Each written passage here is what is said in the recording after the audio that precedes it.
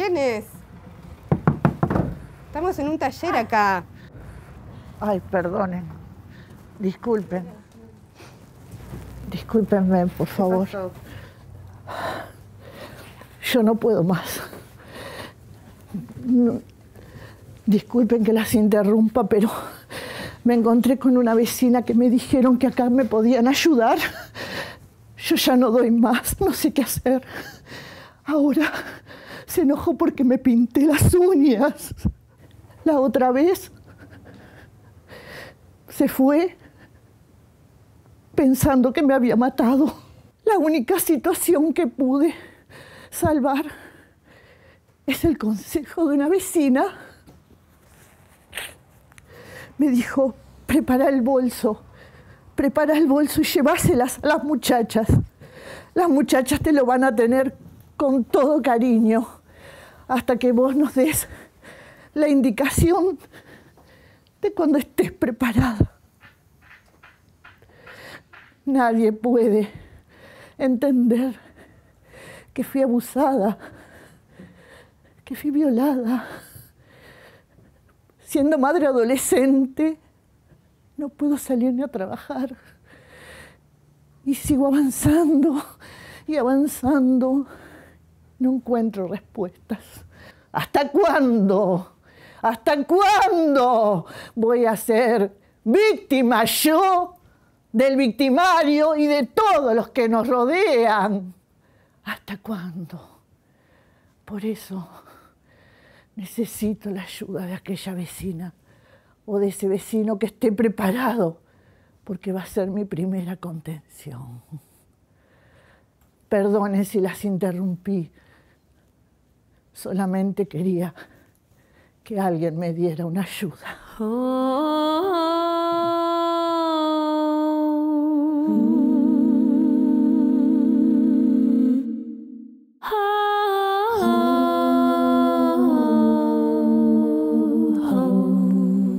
Me enteré de una situación de una vecina, que era una excelente vecina, pero el esposo tomaba, creo.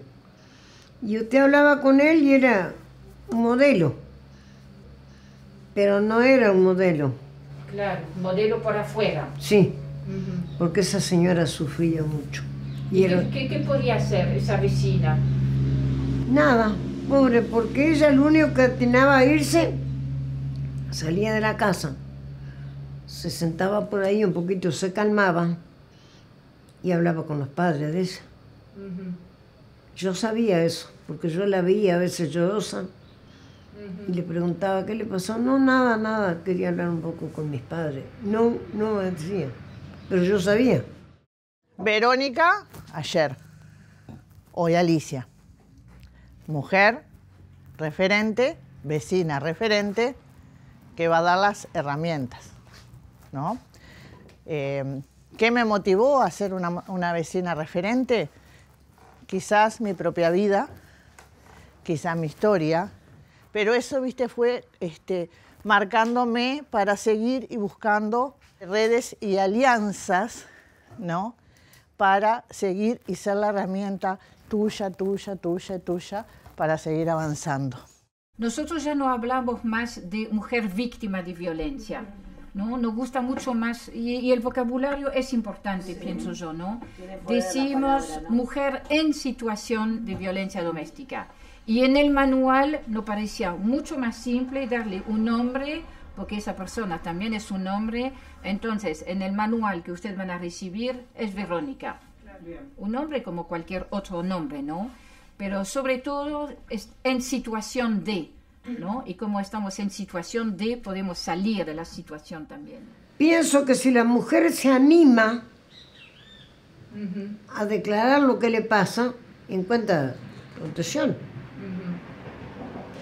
Usted está diciendo una palabra muy importante, si se anima. Claro, Eso sí, es el sí. gran tema, ¿no? Si se anima la gente a ir, a, a ir donde tiene que ir a buscar protección, la va a encontrar.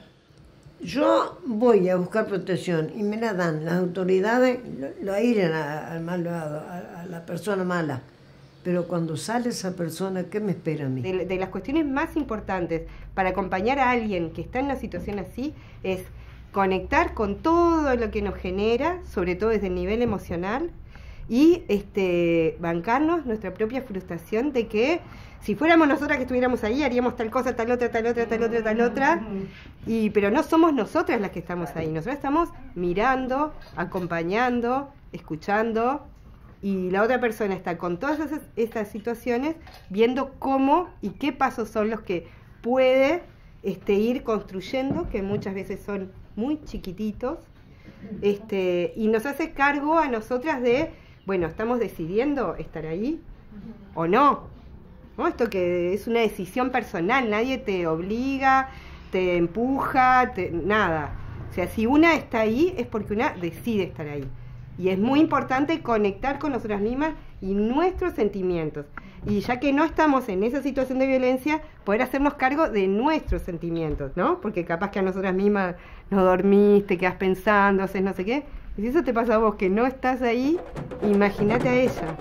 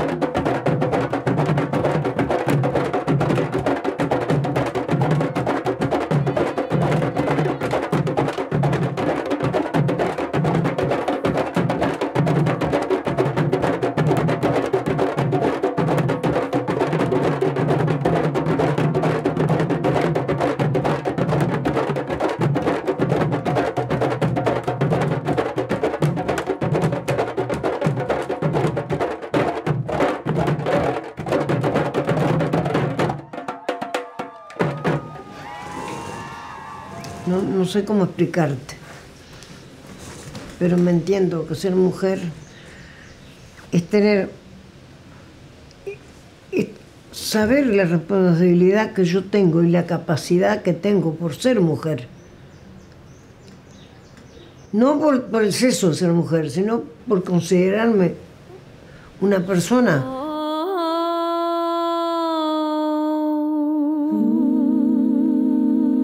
Querida mujer, quizás sentís que nadie puede hacer nada por ti. Te encuentras encerrada en una vida llena de miedos, de vergüenza, de dolor. Te sentís sola, traicionada por ese hombre en el cual confiaste, con el cual quisiste un día formar una familia para toda la vida. Quizás seguís esperando que las cosas cambien, que él pueda dejar de insultarte humillarte, controlarte, aislarte, maltratarte. Y cada día que pasa es un día más de soledad y de sufrimiento. No bajes nunca los brazos, no te resignes, busca ayuda, te ayudaremos entre todas. No tengas vergüenza de expresarte de mujer a mujer. Somos muchas las que hemos pasado por eso. Lo hemos vivido a veces cuando éramos niñas, a veces de grandes. No tengas miedo, porque guardarlo y sufrir por años con eso adentro enferma el cuerpo, la mente y el alma. No te lo mereces. Nadie se lo merece. Ni tú, ni tus hijas, hijos que sufren también por la misma situación. Fuimos criadas con la idea de que por ser mujer debíamos aceptar todo lo que nos pasa, con paciencia, en silencio, perdonando y cuidando a los demás, cumpliendo con nuestro rol de madre y de esposa. Y aprendimos con el tiempo que somos personas con obligaciones y con derechos, y que nuestra primera obligación es cuidarnos a nosotras mismas. ¿Cuántas veces te sentís al límite de cometer una locura? Cuídate, querida mujer. No podemos trabajar con lo que no tiene Verónica. No podemos trabajar a partir de eso. Solamente podemos trabajar a partir de lo que tiene Verónica. sus logros tan chiquititos que son, es a partir de eso que podemos trabajar.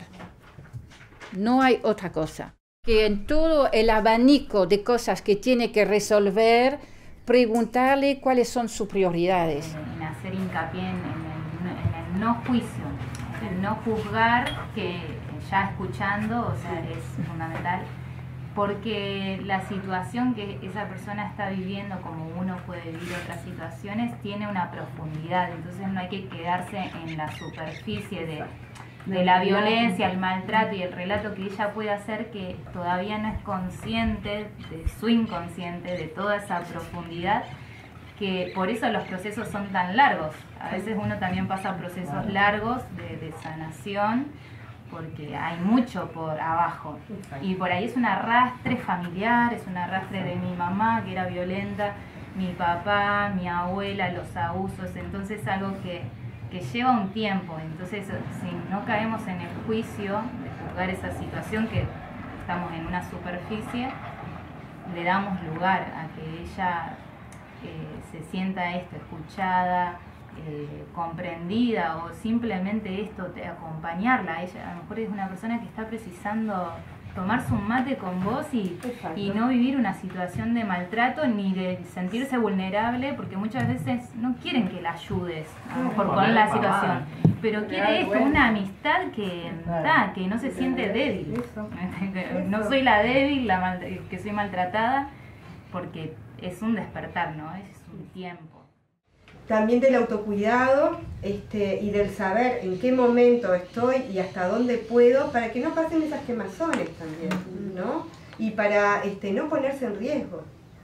Esto de comprometerse con cuidado e intuición, o sea, es como, yo creo que son dos palabras muy importantes, es hacia la persona y es hacia nosotros.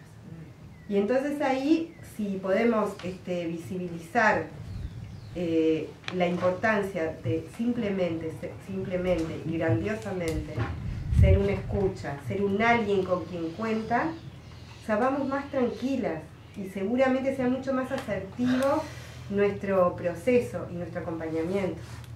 Porque ponemos valor lo importante, que es eso. Otro vínculo, otra mirada y la autoestima va a ir como caminando y creciendo. Y eso es lo que necesita, porque en su vida está ella. Nadie más. Yo le podría decir, valorate a ti misma. Valorate a ti misma.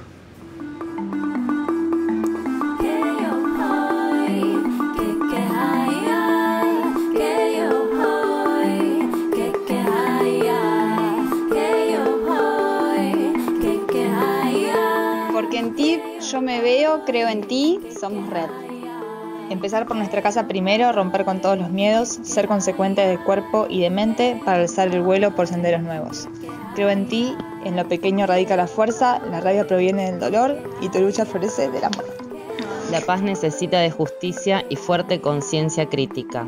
Salgamos de la zona de confort y cambiemos radicalmente la inequidad de género que está plantada. Esto también es una forma de amar. Somos una, somos fuertes, mágicas, hermosas e inteligentes. Te amo y abrazo, hermana. Todas las alegrías y dolores de nuestros caminos nos han conducido hasta acá. En este punto en que nos encontramos somos espejos y nuestras raíces están conectadas. Doy gracias por tenerte en mi trayectoria. Intenciono con amor que sepamos nutrir nuestra conexión por la deconstrucción y construcción de una comunidad mejor. Juntas cambiamos el mundo por el derecho de existir en paz. Qué bueno que me invitaste, qué bueno que me integraste, qué bueno que me escuchaste y me diste tu tiempo de compartir, que facilitaste tus dones y herramientas.